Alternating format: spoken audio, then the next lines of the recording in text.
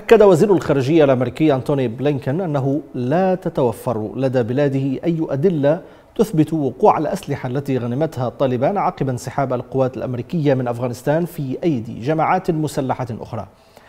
قال في مؤتمر صحفي مشترك مع وزير الخارجية النيجيري جيفري أونياما في أبوجا لا يتوفر لدينا أي دليل على أن الأسلحة التي تم توفيرها في البداية لقوات الأمن الأفغانية على مدى عشرين عاما ثم انتهى بها المطاف في أيدي طالبان تم تسليمها لجماعات مسلحة أخرى.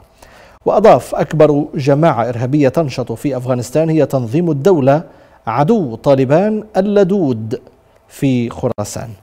أعتقد أن تصريحات بلينكن جاءت ردا على تصريحات ترامب الأخيرة التي علق فيها على العرض العسكري الذي نظمته طالبان منذ أيام معتبرا ذلك أمرا حزينا عندما يتم العرض بمليارات الدولارات الأمريكية.